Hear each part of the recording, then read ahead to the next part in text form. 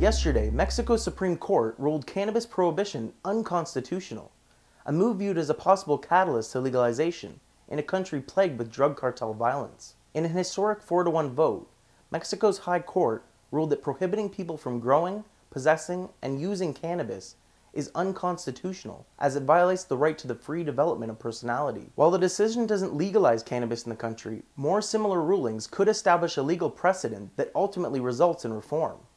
According to Mexican President Enrique Nieto, the verdict opens ample space for a debate on marijuana. Francisco Landa, a lawyer and one of the four plaintiffs winning the court case, claims that this was the group's intended long-term objective all along. Quote, if these are unconstitutional for us, they should be unconstitutional for the entire population. The goal is to make sure we create the basis to have the ability to challenge prohibition, he said. Currently, cannabis is illegal in Mexico.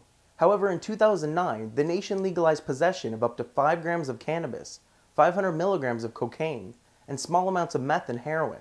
Also, in August, a mother and father won the right to import medical cannabis to treat their 8-year-old daughter's epilepsy, making the girl the first legal cannabis patient in Mexico.